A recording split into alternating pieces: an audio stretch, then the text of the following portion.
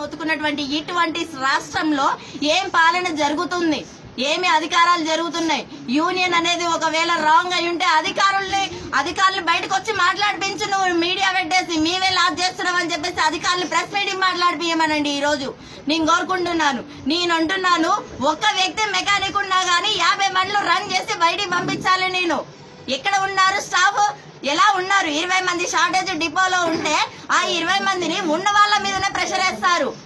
Double డ్యూటీకి వస్తావా రావా? లేకపోతే నేను సస్పెండ్ చేస్తాను నేను లీవ్ వేస్తాను నేను ఆబ్సెంట్ చేస్తాను బెదిరిస్తున్నటువంటి సూపర్వైజర్లు కూడా హైయర్ అథారిటీ ద్వారా భయపడి ఉద్యోగాలు చేయాల్సి వస్తుంది ఈ రోజు ఆ మెంటల్ టెన్షన్ అంతా ఎవరు భరించాలి? ఎలా భరించాలి? మీకంటే డబ్బులు ఉంటాయి మీరు అన్ని విధాలుగా అన్ని రకాలుగా అన్ని సైంటిస్టుల దగ్గర పోతారు. అన్ని మానసిక శాస్త్రవేత్తలతో తీసుకుంటారు. పక్కనున్న వాళ్ళ దగ్గర తీసుకుంటారు. సలహాలు అన్ని దగ్గర తీసుకుంటారు. కామన్ మ్యాన్కి ఎక్కడి నుంచి వచ్చింది? కామన్ మ్యాన్కి ఎక్కడి నుంచి డబ్బులు వస్తున్నాయండి? ఎలా వస్తున్నాయి? ఎలా బ్రతకాలి? జర్నలిస్ట్ క్వశ్చన్స్ అడిగితే నువ్వు నోరు మూసుకొని నువ్వేనా జర్నలిస్ట్ అని అడుగుతావా? ఆయన ఎక్కడన్నా డౌట్ అడగడం తప్ప? ఏం తప్ప? చెప్పండి. నువ్వు నోరు మూతపడేటట్టు నీకు ఇళ్ళ స్థలాలు ఇస్తాను. కూర్చో. ఏంటది? అంటే యూనియన్ నాయకుడు అని తప్పు చేస్తే మా దగ్గరకు వచ్చి మాట్లాడు ప్రజలలోకి వచ్చి మాట్లాడు. ఓట్లు వేసే నాడు ప్రజలలోకి వచ్చి ఏ విధంగా అయితే నువ్వు ఓటు అడిగి ఏమని అడిగారో ఎమ్మెల్యేలైనా సర్పంచ్లైనా కన్సర్నింగ్ ఎవరైతే అధికారులు ఈ రోజు ప్రజలలోకి వచ్చి మాట్లాడమరండి. మేము వింటాం వాళ్ళ బాధలేందో మరి. ఎందుకు ఈ విధంగా ప్రాణాలతో చెలగారాడుతున్నారు ఎయిటీ వన్ నైన్టీ పర్సెంట్ నేను చెప్తున్నాను బీబీ షుగర్లు నైన్టీ పర్సెంట్ వర్కర్లకు ఉన్నాయి. నీకు కావాలంటే మెడికల్ టెస్ట్ చేయించు. వాళ్ళకి బీబీ షుగర్లు ఎందుకు వచ్చినాయి? ఏమిటికి వచ్చినాయి వాళ్ళ బాధలు వాళ్ళు భరించలేక కాదు. కన్సర్నింగ్ అధికారులు ఉన్నటువంటి మెంటల్ స్ట్రెస్ భరించలేక వాళ్ళకి బీపీ షుగర్లు వస్తున్నాయి. ఏ విధంగా లీడ్ చేయాలో తెలవలేక వాళ్ళు రూ- డ్యూటీలు వేసుకొని ఎలా భరించాలో తెలియక ఆ స్ట్రెస్ అంతా ఎక్కువైపోయి మెంటల్ స్ట్రెస్ తయారైపోయి బీపీ షుగర్లతోటి ఒక్కొక్కరు ఉద్యోగాలు చేస్తారు అయినప్పటికీ అసలు ఆర్టీసీలో ఏ ఏజ్ గల్లోళ్ళు ఉన్నారు నీకు? ఏ ఏజ్ వాళ్ళు ఉన్నారండి? ఏబో ఫార్టీ ఫైవ్ ఏజ్ ఉన్నటువంటి వర్కర్స్ ఉన్నారు వాళ్ళు. వాళ్ళకి ఎలా లీడ్ చేసుకోవడం తెలుస్తుందండి? నీకు రోజు వస్తున్నారు వర్క్ చేస్తున్నారు నీ డిపన్ రన్ చేస్తున్నారు. అసలు ఒక కలెక్టర్ అన్నారు ఆర్టీసీ డ్రైవర్కి పాదాభివందనం చేయొచ్చు. ముప్పై ఐదు లక్షలు ముప్పై ఐదు వేలు కిలోమీటర్లు తిప్పిన ఒక్క యాక్సిడెంట్ కూడా చేయనటువంటి డ్రైవర్లు ఉన్నారు ఈ సంస్థలో. ఎట్లా మర్చిపోతున్నారు రాష్ట్రం అంతా ఈ రోజు ప్రజలు? ఎలా మర్చిపోతున్నారు? ఏం మానవ ఓటు వేయడం అనేది మానవ హక్కు కాదా? డబ్బు కమ్ముడు పడిపోయి ఈ రాష్ట్ర ప్రజలు కూడా అసలు ఏం పట్టించుకోని కాడికి అయిపోతుంది? ఏమిచ్చారండి రాష్ట్రాన్ని బంగారు తెలంగాణ ఎక్కడిచ్చాడు? ఏం ఉద్యోగులు? ఈ పిల్ల సెవెంత్ క్లాస్ అంట ఈ అమ్మాయి థర్డ్ క్లాస్ ఆ అబ్బాయి చిన్న పిల్లోడు. ఎట్లా బతుకుతారండి? ముసలాలకు రెండు వేలు ఇచ్చేసి రైతు బంధుకి నాలుగు వేలు ఇవ్వగానే నోరు మూసుకుంటారా ఇంకా? రాష్ట్రం అదేనా ఇక? స్టూడెంట్స్ లేరా? లక్షల ఉద్యోగాలు లేవా? ఆల్ డిపార్ట్మెంట్స్లో వేకెన్సీస్ ఉన్నాయి ఫిలప్ చేయమనండి. మా సంస్థలో కూడా ఎన్నో వేల వేకెన్సీస్ ఉన్నాయి ఫిలప్ చేయమనండి. దెర్ ఇస్ నో రిక్వైర్మెంట్ ఎందుకు రిక్వైర్మెంట్ ఉండదు? ఉన్నాడు ఎట్లా పని చేస్తాడు? సూపర్వైజర్ ఐదుగురు ఉండే దగ్గర ఒక్కరితోటి ఇద్దరితోటి రన్ చేస్తున్నారు. ఎట్లా చేస్తారు? మళ్ళీ చెయ్యాలి. లాస్ట్ ఇయర్ ఇంత ఫలితాలు వచ్చినాయి ఇప్పుడు చేయాలి. ఏ నుంచి వస్తాయండి? ఒక్కని బాగా ఇద్దరు చేస్తారా? ఒక్కరిని ఇద్దరు తిండి ఒక్కడే తింటాడా ఎవరన్నా? ఇవన్నీ ఇవన్నీ ఎవరు అడగాలి? కామన్ మ్యాన్స్ ఎందుకు అడుగుతున్నావు ఎవరు నోరెత్తితే వాళ్ళు నోరు ముపిస్తారా? ఏంది ఇదేనా ప్రజా వ్యవస్థ? ఒక సీఎం కేసీఆర్ మాట్లాడే విధానం ఇదేనా? మాట్లాడమండి ప్రజలలోకి వచ్చి మాట్లాడమనండి. అక్కడెక్కడో నిన్న హుజూర్ నగర్లో గెలవగానే హుజూర్ నగర్ ఎందుకు కలిసింది ఆయన వల్ల కాదు. ఏ కామన్ మ్యాన్ అయినా ఏ పీపుల్స్ అయినా ఏం ఆలోచిస్తారు? రాష్ట్రం మొత్తం ఒకటే తెలంగాణ ఉంది. సో ఆయన మాట వింటే మనకు కూడా ఏమైనా వస్తుందిరేమో అని చెప్పి అసలు ఏం తెలియని ప్రజలు ఓట్లు వేశారు తప్పించి నీ యొక్క నిజమైన పాలన తెలియక కాదు. ఎవరిని భయపెట్టిస్తున్నారండి? ఎందుకు? మన ఇండియా అనేది బ్రిటిష్ నుంచి ఎందుకు మన స్వేచ్ఛ మనం కాపాడుకోవడం కాదు స్వాతంత్రం తెచ్చుకుంది. ఎందుకు తెచ్చుకున్నాం? ఈ బానిస బతుకుల కోసం మేము ఇంతగానం తెచ్చుకుంది. ఆంధ్ర తెలంగాణ ఎందుకు విడిపోయాము? వాళ్ళల్లో బానిస బతుకులు ఉన్నాయని మన మీద పడి చస్తున్నారని చెప్పేసే కదా మనం బానిస బతుకులని వాళ్ళ కానించి విడిపోయింది. నిన్నే దేవుడు అనుకొని నిన్ను గద్ద ఎక్కించినప్పుడు మేమందరం నీకు ఇప్పుడు ఎట్లా కనబడుతున్నాం? ఎట్లా కనబడుతున్నాం? వీటికి ఆన్సర్లు కావాలి. ఎవరు చెప్తారు? నిన్నే అడుగుతున్నాను డైరెక్ట్ ఫేస్ టు ఫేస్ అడుగుతున్నా ప్రతి ఒక్క అసలు ప్రజల నుంచి అడిగే క్వశ్చన్స్కి ఆన్సర్ చెప్పవరండి సీఎం గారిని. ఏమి ఏమిడుకున్నాండి పోలీస్ వాళ్ళు ఏమిడుకున్నారు దేశ రక్షణకున్నారా? రాష్ట్ర రక్షణకున్నారా?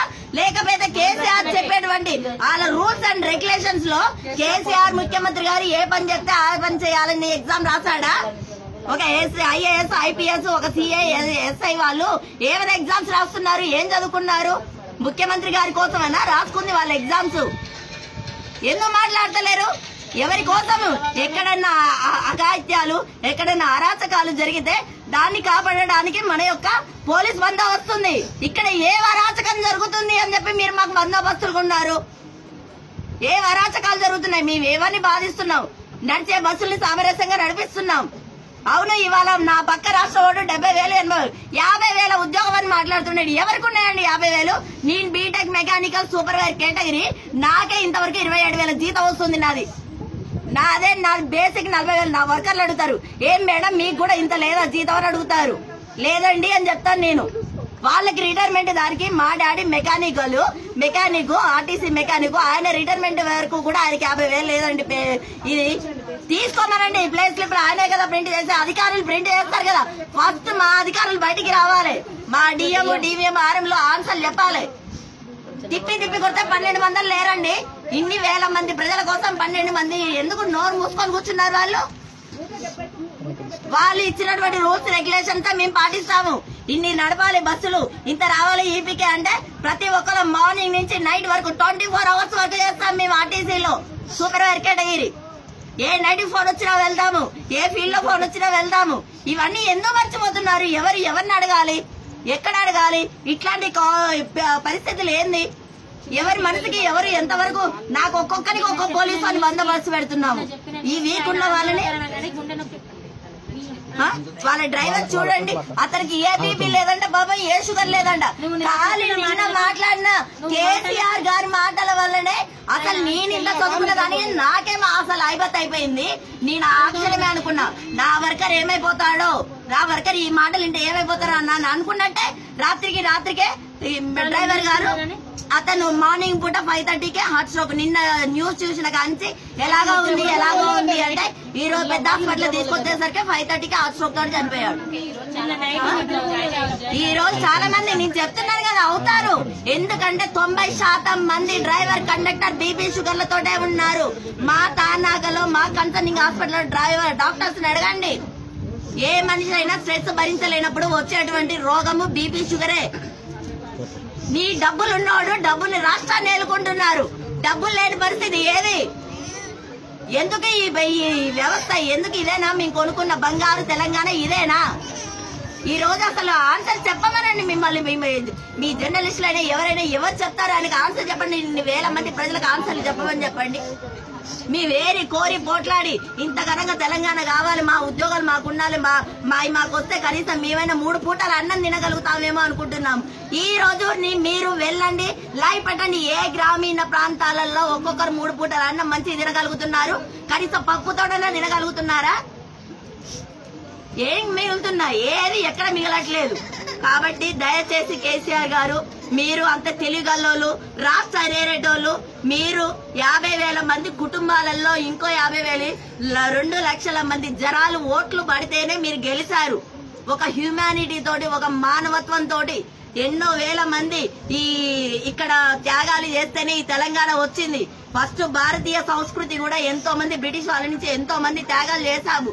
మీరు అది గుర్తుంచుకోండి. మీకు యూనియన్ నచ్చట్లేదు యూనియన్ వల్ల వస్తుందంటే లెక్కలు పత్రాలు చూపియండి మాకు. మాకు ఆన్సర్ చెప్పండి. దీనికి సరి అయిన పరిష్కారం with in the two three డేస్లలో మాకు చూపించండి మాకు చూపించండి మా మా వ్యవస్థ ఒకవేళ మేమే లాస్ట్లో నడుపుతున్నామని నిజంగా అధికారులే గాని ఎవరైనా అంటే మేమే ముందుండి మా వ్యవస్థను మేము బాగుపరుచుకుంటామని కూడా నేను చెప్తున్నాను నేను. కాబట్టి ఈ పిల్లలకు కూడా ఇప్పటికి పది మంది దాకా హార్ట్ హార్ట్ స్ట్రోక్తో చనిపోయారు ఈ ఆర్టీసీలో. పదమూడు పదమూడు పదమూడు పదమూడు మంది. పదమూడు మంది. ఏంటండి? వీడియో నచ్చిందా? అయితే ఓ లైక్ వేసుకోండి. లేదంటే ఓ కామెంట్ చేయండి. ఎప్పటికప్పుడు మా వీడియోస్ చూడాలంటే సబ్స్క్రైబ్ చేసుకోండి.